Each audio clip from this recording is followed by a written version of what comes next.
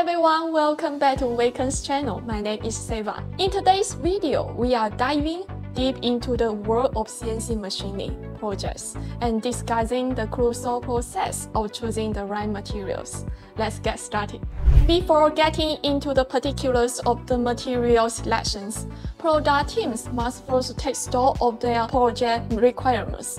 Start by considering these four questions. The first questions how will the part be used? Engineers must consider their parts and use and where it will be used, as these factors will have a significant impact on the material selections.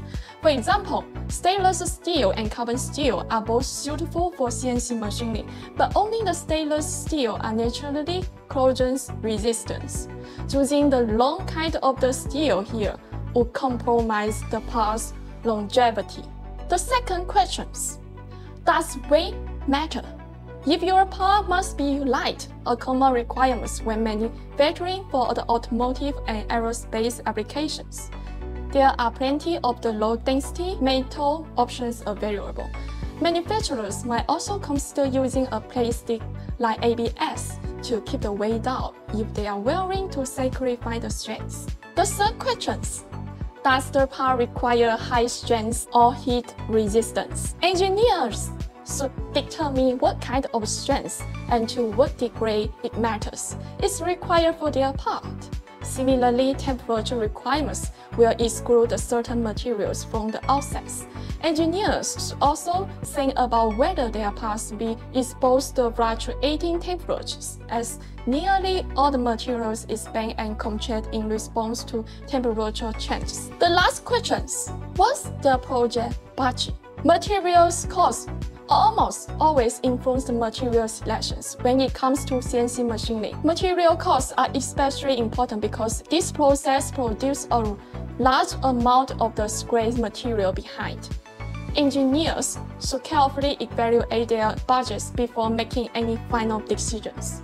Today we will introduce you to the following two common materials used in CNC manufacturing. Aluminum alloys are easy to machine in large values, have a good strength to weight ratio, and high thermal and electrical conductivities. They are also nearly resistant to corrosions.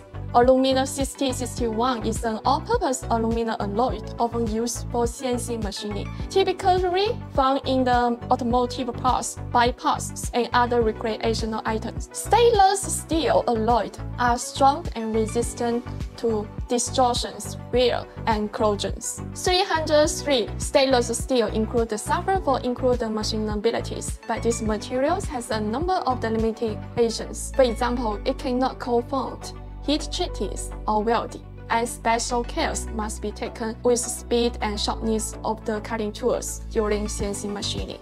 That said, 303 makes excellent nuts, bolts, shafts, and gears. 304 stainless steel is a non-magnetic all-purpose steel for CNC machining, known as its toughness. 316 stainless steel is even more corrosion resistant than 304 and 303 since the additions of the molybdenum. It's strong and weightless and one of the few marine-grade stainless steels. Since it's impossible to tell the stainless steel apart by the sign alone, engineers should make sure to test the raw material to confirm the characteristics of their steel they are using. In CNC machining projects, material selection is a complex and critical decision.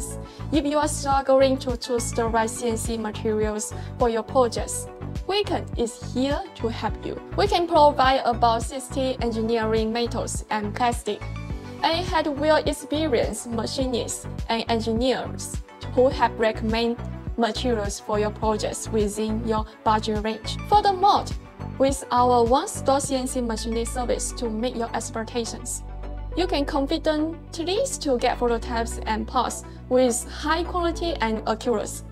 Have any specific questions about the material machining? Please feel free to contact us. See you next time.